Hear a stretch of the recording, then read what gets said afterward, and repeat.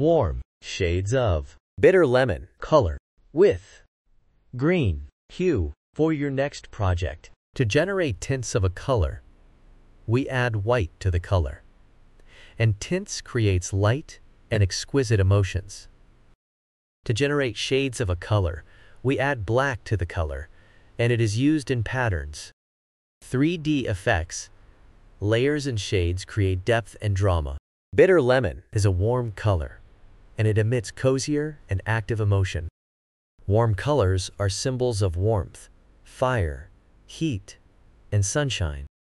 It also evokes joy, passion, love, and even anger emotions.